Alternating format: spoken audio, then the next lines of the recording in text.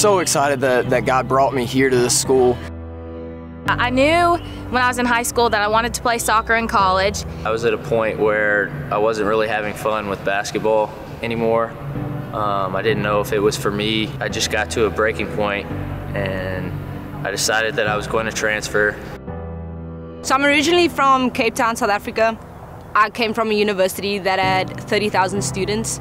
Um, to go from that to a small school like this was a, a little bit of a culture shock. Uh, I settled on Freed because I really liked the girls here and they were nice and they included me. Not having anywhere to go and thinking that basketball was over, God was able to completely open the doors for me to come to Freed Hardeman, and I knew that Freed Hardeman was the right place for me. My freshman year, I went to a, a bigger university um, because I, I really wanted to go to a big school and, and feel like I had accomplished something. And, and long story short, God kind of came into the mess of my life and, and the, the priorities that I had in my life and, and showed me that I was focused on all the wrong things. Um, brought me to Freed Hardeman University and my life will be forever impacted by this school.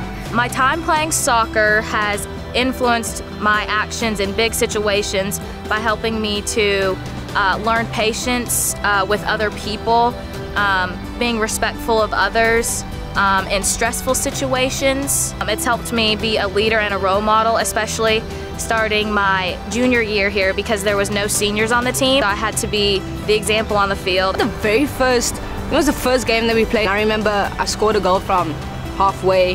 It took us into overtime and we ended up winning the game. And then the whole team running after the game, we all like, we were so happy after we won it at the end, thanking the fans. And that was, that for me was a moment was like, man, I, I really like the school, I like the team that I'm a part of. And, you know, we were growing together. And I think that, that moment for me was like, God was telling me, hey, you're supposed to be here.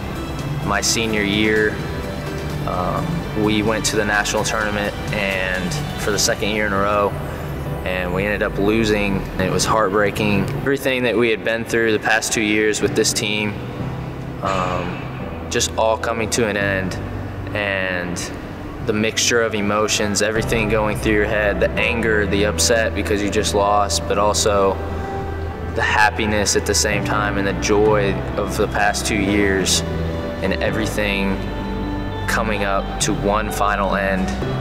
Um, there's just tears coming down my face and everybody else on the team. That was my moment at Freed Hardeman.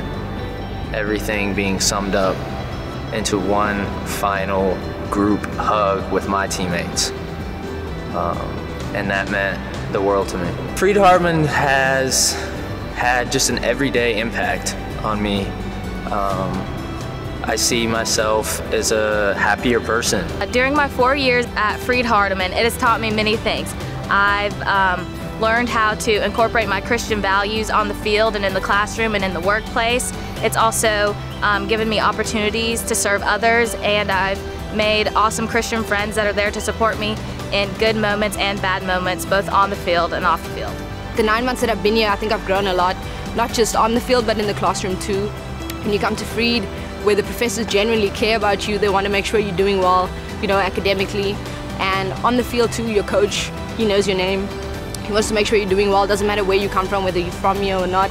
You know, uh, just the fact that people care about you is something that really, um, that I felt that was different when I got here. I've learned my priorities uh, rest in the gospel and rest in Jesus and, and in the strength that He has given me. Um, I have learned uh, just about life and, and, and, living for God's glory. Something that I've learned from, from the guys in, in baseball here is that um, the glory of God, it, it's not when you hit a home run. Like you don't glorify God when you hit a home run or you strike somebody out. You glorify God when, when you sacrifice for your brothers on the field. At this school, just the people, the people are, they really are just love. Um, going from the faculty to the staff to the students. Um, everybody at Freed Hardeman is just genuine and they're unselfish and they care about the students and they'll do anything for you. Being around high character people allows you to become more like them.